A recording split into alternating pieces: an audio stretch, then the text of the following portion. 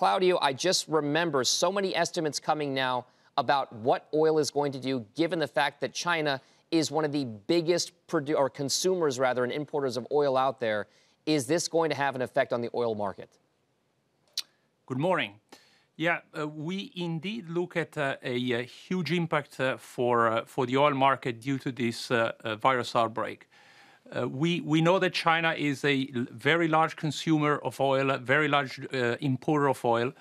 We have developed a, a best case scenario and a, and a worst case scenario. In the worst case scenario, we are looking for an oil demand reduction just in the month of February of 4 million barrels a day.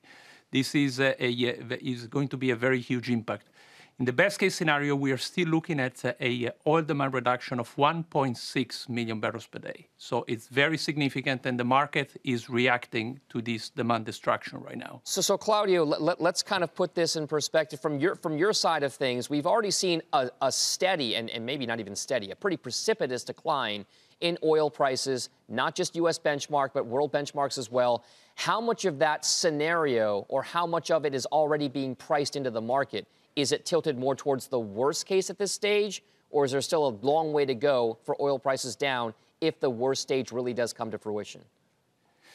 That's a very good po- That's a very good question. Uh, uh, what we know for sure right now is that uh, the the, the uh, transportation lockdown in China is having an effect. the flight cancellation is having an effect. I don't think we are yet at a point we can say this is the worst case scenario. As a matter of fact, I would say the worst case scenario would play out if China is not able to go back to work, business as usual, next week.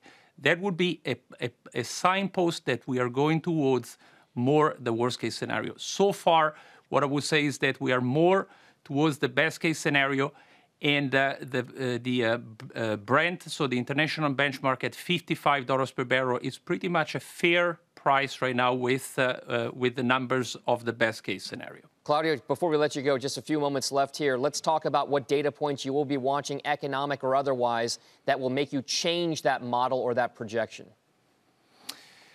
Definitely, we need to look at uh, the expansion of this virus. Uh, the uh, uh the uh, reporter from China earlier was making the point that uh, we we could have global reverberation in terms of the global supply chain, not just oil.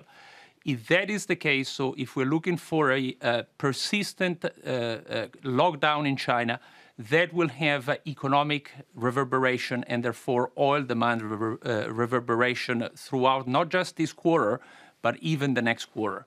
So what I'm really looking at is the pace of uh, spreading of this virus. Right now we are at 20,000 people infected. If this goes on and on, not just in China, but the rest of the world, then we are going back to the, uh, to the drawboard and uh, our numbers will change accordingly.